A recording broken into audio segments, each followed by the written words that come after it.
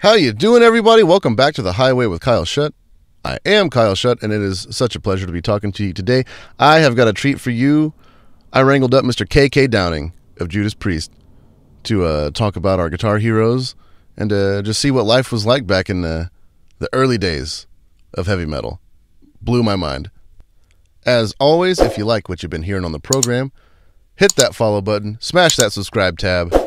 You do what you got to do to make sure that you don't miss a single episode. And if you want to go one step further, you can find us at patreon.com slash the highway. And for a few bucks a month, you can help me keep these lights on, keep these interviews coming, and even get yourself a shout out. This week we have a couple of bands we're going to shout out.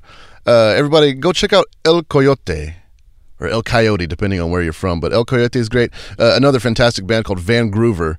Uh, these bands have been uh, throwing down at the Patreon and just really helping uh, keep this going. And I, I can't thank y'all enough. And uh, we also got to give some mad love to our sponsors, Heil Sound. Because if you like the way I sound, it's because there's a Heil in front of me. Now, I don't know about y'all, but I want to hear from some goddamn heavy metal royalty. Let's do things my way. The Highway.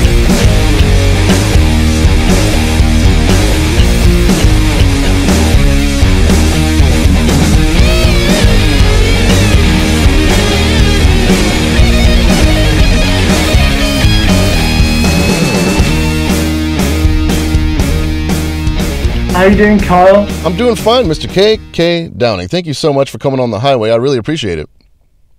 No problem, Kyle.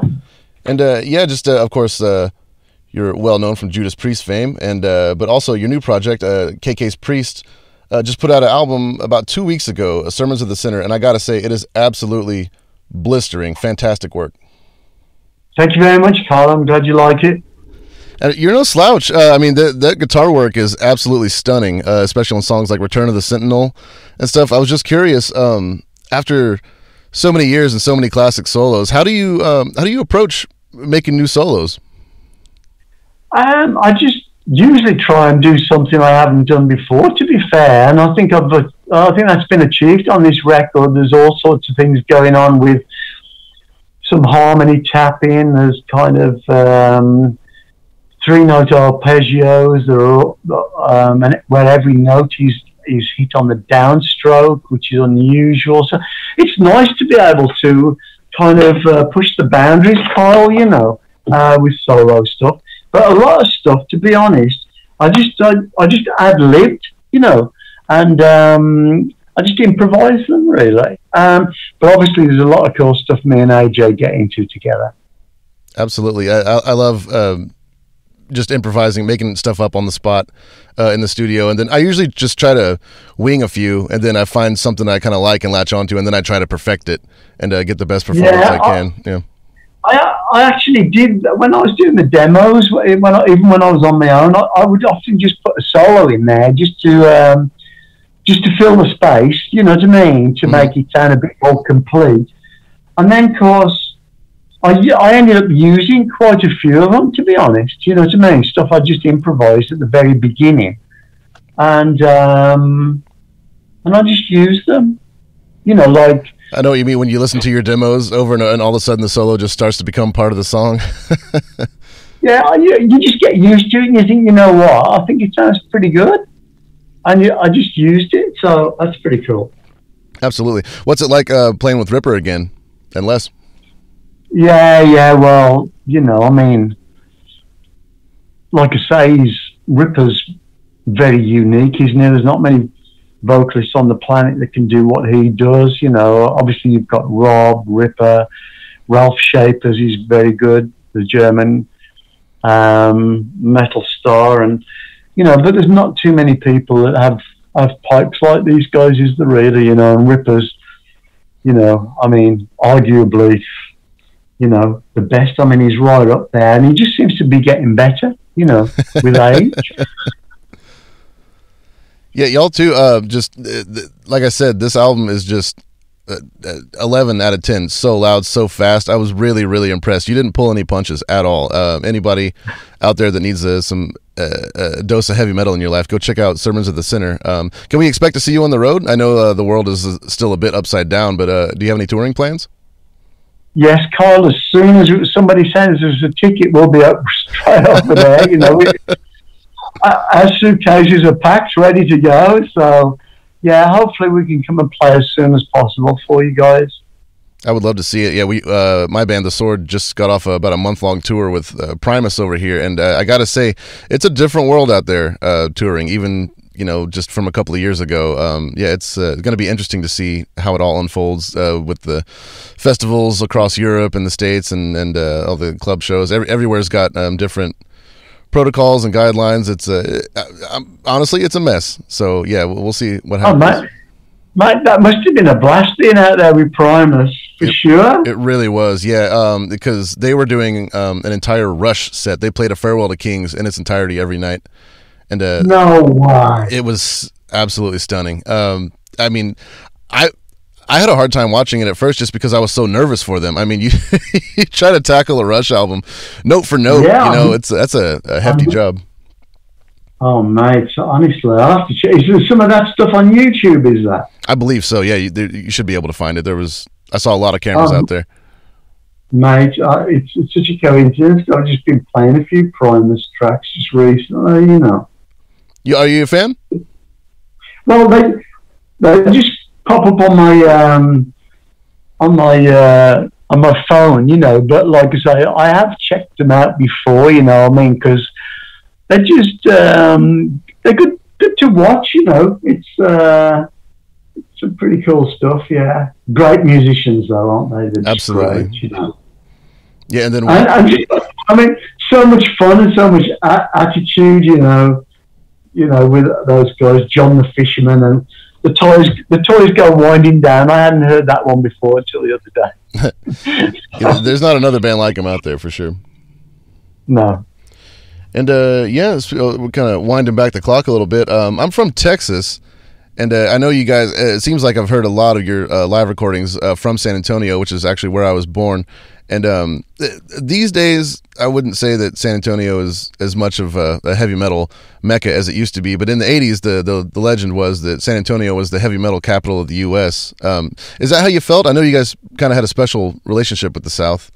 Um, what was it like? Yeah, it, absolutely, it absolutely was because the radio station, which the name escapes me now, but um, a couple of the guys, in, the guys involved. There was, I think, it was Joe Anthony was one of the guys, and um, you know, it was a long time ago, but I can remember that.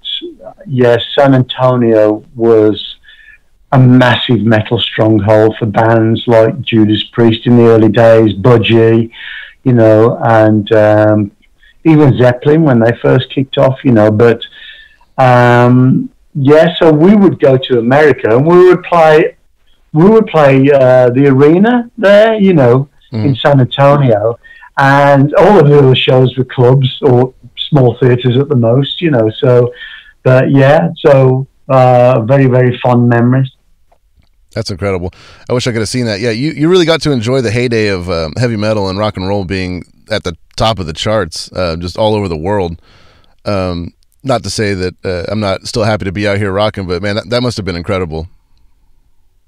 Yeah, certainly, certainly was. Obviously, yeah, coming to the states. I mean, you can imagine what it was like for us as a young band, turning the clock to be able to settle sail to the states, and uh, and I mean, it's so big, it's endless. It's like another world, isn't it? You know, mm-hmm. I mean, we were so so excited to come over there and play for you guys, and obviously it's been a wonderful, wonderful experience for for decades now. You know, that's wild. Yeah, uh, how how did it compare to the the rest of the world? Yeah, well, you know, America was a massive stronghold, wasn't it? Because everything was seemed to be so much easier in the states. You know, you could play a lot of shows back to back. You know, and like going from going from states one state to another was like for us going from one country to another because I think even New York State state is probably the size of uh, of, of, the UK, you know. So, going to like California, Texas, and you know Florida, those states are like multiple times bigger than our own country, you know. So. Um, and obviously, the radio was very, very important, wasn't it? Because radio was just massive everywhere. You know, rock radio. That's uh, pretty much how I found out about music when I was young. Was the radio and uh, MTV, and uh, you guys were definitely all over uh, MTV. Um, watching that culture um, kind of develop out of the '70s and into the '80s, how do you think that was really important for y'all as well? Oh yeah, absolutely. You know, I mean, we didn't have radio back in the UK, but you know, it, it was all about because America was where it was unique was America was really it was essential to have a car in America. You know, uh, at whatever age, you know, to be able mm-hmm. to get around. And obviously, everybody had a player in the car. And so, and that's why radio, you know, because you're in the car, you're commuting or whatever, it's dead time, you know, you put the radio on and, um, you know, without annoying other people for the most part. Whereas uh, other countries, you know, if you wanted to play the radio, you played it in the family home, and everybody was always going to turn that rubbish off, you know, and and so it was hard work, you know, uh, and that's why I think that uh, the states really led the way, really, um, in the uh, majestic rock decades. Absolutely. What uh, I know, um, I've, I've, read that you're a, a huge Jimi Hendrix fan, and uh, who's not. But um, was he? Who do you think uh, was one of the people that made you want to pick up the guitar, or like who who were some of your early uh, you know heroes that made you think I could totally? Yeah, yeah. Jimi was the big one. I saw him in '67. Wow. I saw him. I saw him. I think about six, six or seven times. Um, luckily, and uh, but yeah, it was. It, you know, I'd heard lots of good bands and players before before seeing Jimi Hendrix, you know, the Cream, etc., and John Mayall's Blues Breakers, uh, and tons of other bands. Um, but really, um, seeing Hendrix, it wasn't just the playing; it was his showmanship, it was his charisma, it was just everything. But more than anything else, it was the ingredients he had that to me sounded like heavy metal. You know, the songs, the uh, power power riffs that he would play in in Foxy Lady and uh, songs like Purple Haze and that. You know, so that was pretty pretty electrifying. You know, so um, yeah, no wonder with in with young ears like mine, you know, and influential minds, it was bound to. Uh, have an influence, you know. That's incredible. How big were those shows back then when you saw them? Were they, were they just little clubs, or had he sort of hit by then? I, I, I saw it. The first two shows were in theatres, good-sized theatres, probably two thousand capacity, maybe a little bit more. You know, um, all seated venues. Um, so that was good. You know, uh, I saw the two shows at the Royal Albert Hall, which seats about that, those dates were back to back, and the Royal Albert Hall seats about five and a half thousand. You know, I saw him at the of Wight Music Festival in 1970, early 70, so obviously that was massive.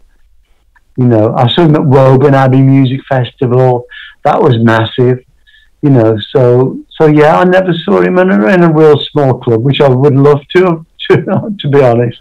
Yeah, I bet. Um, man, that's that. I wish I could have caught some of that stuff. Uh, I'm I'm lucky to have seen everything I have, but there's so much that I missed. Uh, it's it's awesome hearing about it. Thank you for sharing. Um, did you ever get to meet him or anything like that? I kind of did in a way, but just as a fan, you know, when I was at uh, when I was at uh, the Isle of Wight Music Festival, um, Jimi had they just woken up, I think, because it was early hours of the morning. He, he went on very late, but he was sat round uh, a table with Mitch and Noel and two ladies uh, in, in what we call like an old style trailer caravan, you know, uh-huh. which they were using as a dressing room.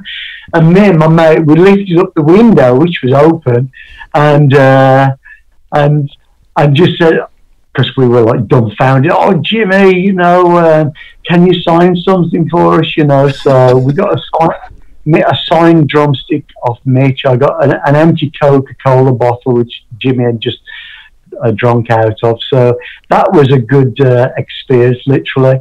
And then at the Royal Albert Hall, I managed to get his autograph backstage outside, you know, when he was entering the show. There was just about four or five of us there, you know, so that was lucky. That's incredible. I was uh, the the saying is with people usually uh, never meet your heroes, but I think that's uh, nonsense. I, I, always say always meet your heroes. Uh, that's that's amazing. Uh, are there any other uh, guitar heroes that, that you got to meet uh, of yours?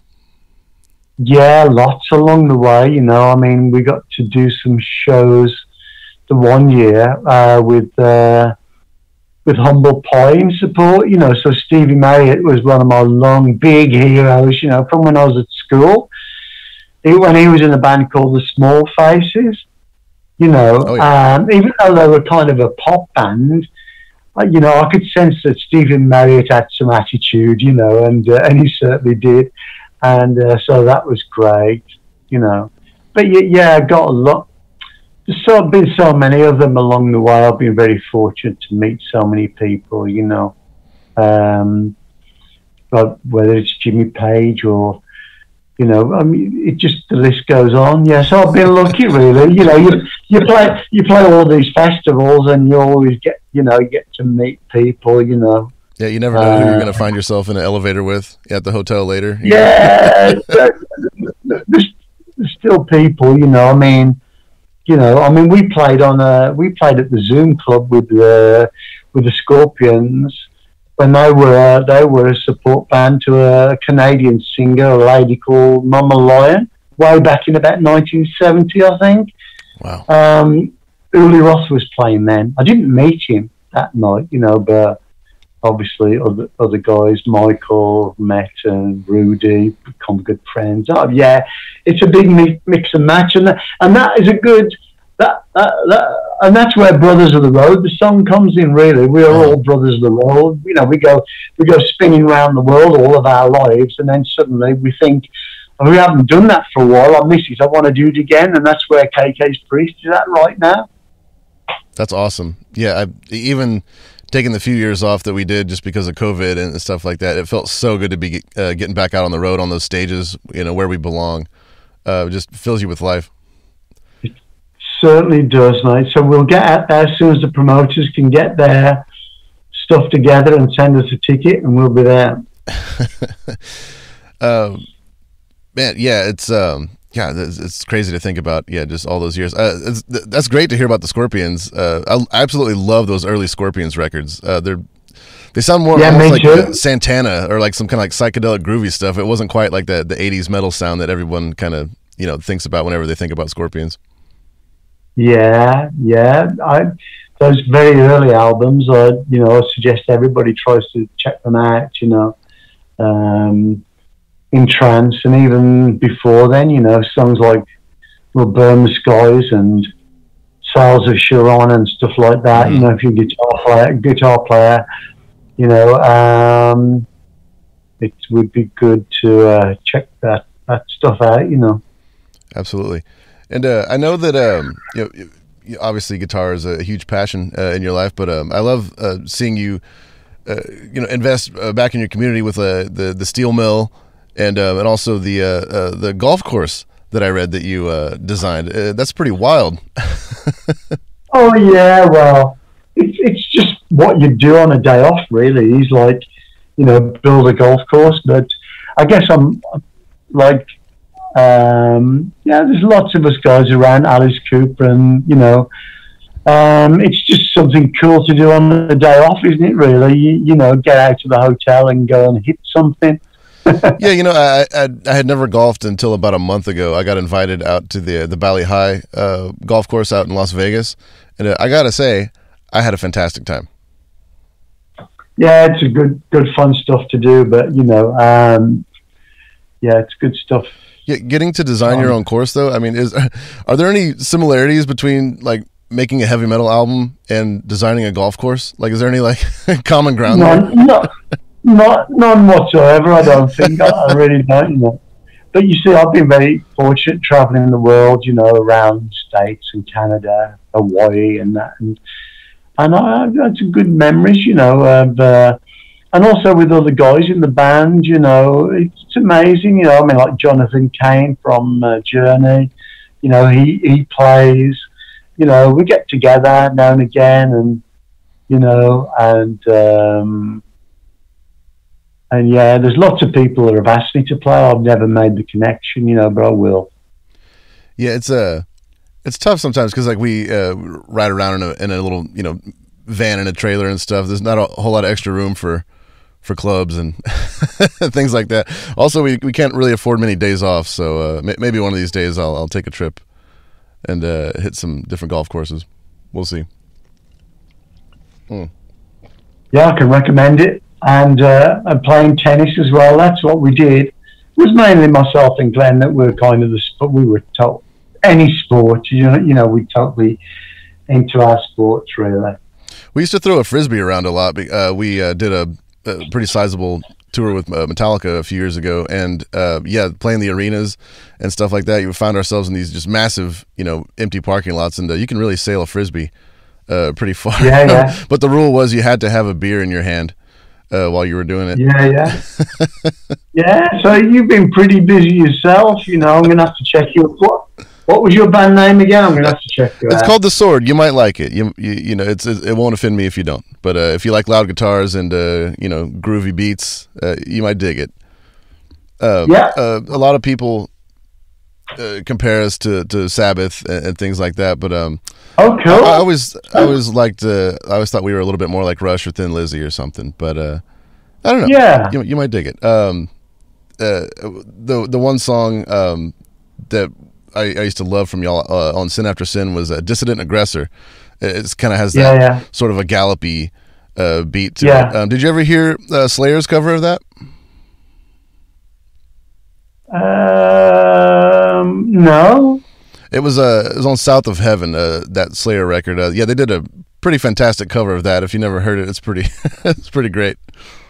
Oh, check it out. Uh, I heard that they did a song.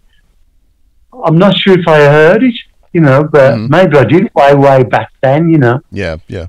yeah. Well, uh, what do you, if if you can recall, what do you think the biggest show you ever played was? Like how many people? Oh, that, well, like like I say, the, the biggest. Well, it's it's arguably um, Live Aid, I suppose, because that was that was that was televised all over the world. But uh, the US Festival in San Bernardino was massive, you know. But um, our own show, uh, headlining, I think we played Tacoma Dome the one year. There was a lot of people there, you know. I mean. Um, I had no idea, but you know, it was uh, a lot of people because that place is huge, isn't it? You know, massive. Yeah, it it, it never gets old. Seeing that many people just crammed in together. Yeah, yeah. Are, are you working on new stuff already? Or are you kind of uh, taking a yes, break? absolutely. Yeah, absolutely. Every chance I get, I'm looking forward to, uh, you know, um, getting on with the next record. Really. Yeah, especially while we have this downtime it's uh, good to yeah. get some stuff in the can just so you have it when you're ready to go. There's nothing yeah. worse than uh, being asked to do something and you don't have any yeah. any material. yeah, through the winter as well. It's, not a bad thing, you know. When the weather's terrible, you can uh, get on with it. Absolutely. And um, yeah, I saw uh, uh, back in 2018 you uh, released a memoir, and I'm, I'm, actually currently working on a bit of one myself. it's not going to be obviously as, as grandiose uh, a little bit more of like a, um, just yeah, silly tour stories and stuff like that. Um, but yeah, how, how did you uh, find that challenge uh, writing a book? Yeah, something different, really. You know, um, it was it was um, it was definitely interesting. Really, it was quite time consuming. Um, but I'm glad I did it because I just wanted fans to get to know me a little bit better, really, because you know fans knew of me, but I didn't think that they, you know, not necessarily, you know, have an insight to to me and my life and my personality, really. Mm-hmm. Yeah, it is. Um, it, it definitely is way more difficult than I thought it would be when I first sat down to just stare at a blank page and try to write something. Um, yeah, yeah. Not uh, like playing guitar at all, uh, unfortunately. But that's okay. Um, yeah, I can't. Uh, I, I picked it up. I haven't had a chance to read it yet, but I cannot wait to tear through it. Um, and uh, yeah, just to see, yeah, just get that insight into to what those days were like. Um, do you have any uh, any tour stories you think that jumped out that uh, you you feel like sharing? It's been my whole life, hasn't it? You know, Right. um, I think uh, a lot of the real, real cool stuff really happened when we were very young. You know, before we actually got a record deal. I think that's when it was pretty torturous. You know, Mhm. um, but yeah. Um, you do a lot of things, don't you? You know, clean your teeth in the snow and get in the back of the van to go to sleep, and you know, in the middle of Norway, in the in, in the middle of winter, you think to yourself, what what compelled us to do that sort of thing? You know, I mean, it's a wonder we're still alive to tell the tale. Yeah, yeah. How difficult was it to get around back in those days, in the early early days?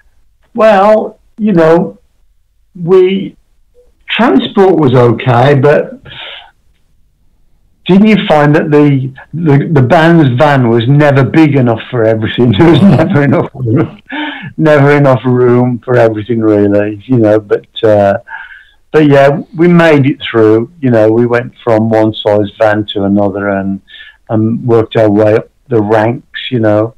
Um, yeah, it's been uh, a lifetime of torture, but we wouldn't have changed anything for the Right. world. I believe it. Yeah. How uh, how bad did did those leather outfits smell after a whole tour? Yeah, pretty bad before we had a wardrobe lady, that's for sure. I can only imagine. Well, um, I always ask our musical guests uh, that come on if they want to play a song uh, toward the end of the program. Is there anything, uh, any favorite track off of uh, Sermons of the Sinner that uh, you think you want to play? No, I'm happy to play anything from that uh, from the album. Anything at all that you'd like to play, but Yeah, I gotta say, Ret- Re- Return of the Sentinel was one that really jumped out to me.